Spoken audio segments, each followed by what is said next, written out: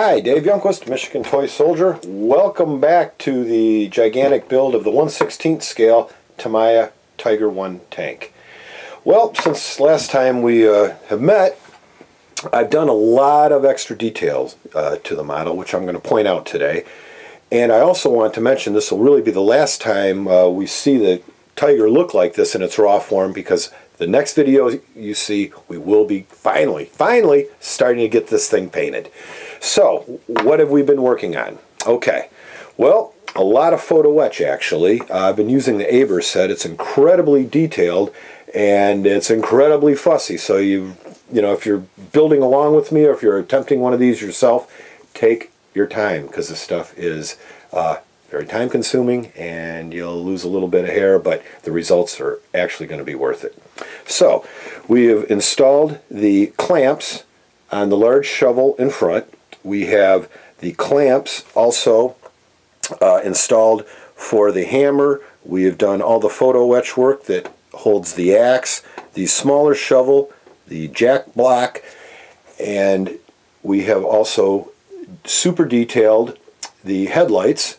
Now this is very cool. Uh, the kit part is very good, but I scraped it all away and added all new brass fittings and added the, uh, the connecting uh, wiring for that.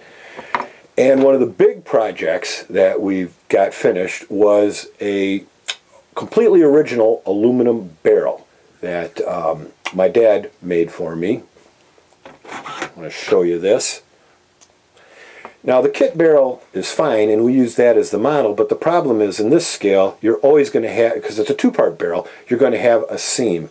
And try as you might, you're never going to be able to get that seam really out of there. So we had this made. And to show you how incredibly complicated that is, that's the blueprint that we use to turn this on a lathe. Thank you, Pete. Incredible job. It fits absolutely perfect.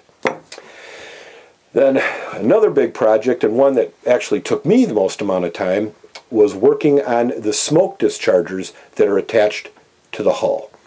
Now, I had uh, a customer here the Michigan Toy Soldier, because I don't have any metalworking equipment, actually cut these out of brass and grind them down for me. Um, there is three on each side, and there is just an incredible amount of detailing on the back of these chains, wiring, etc. Uh, I've got probably 40 hours in that neighborhood just getting these actually assembled. I know it sounds crazy, uh, obsessively crazy, but that's why we model. You know, we're doing this for fun. Uh, and I actually have some of the smoke canisters that were made for me also that will be dropping in here. Then from there, we have got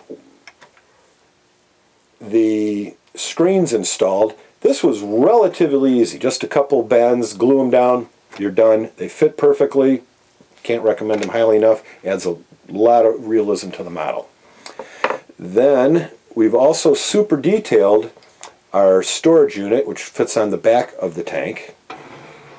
Um, the one, again, that comes with the kit is good, but it's missing some things, as all kits, you know, are apt to do. So I added the attachment brackets on the bottom, re-riveted the front of it, added all the new lasps, and that will fit there as soon as I get to painting. You can see that. Then, I'm in the process of working on the 32 road wheels for this. I just brought a smattering of them. They're all base coated. The, uh, the actual rubber on the, uh, the wheels have been primed, painted. I've got a bunch on the bench at home right now, so we're painting each one individually. Um, if I don't completely lose my mind, I hope to have these done in about a week or two. So next time you see the tank, we'll have our base coat of paint down. We'll begin the weathering with AK and MIG production products. Really looking forward to that. Hope to see you again soon. This has been Dave Youngquist, Michigan Toy Soldier on YouTube.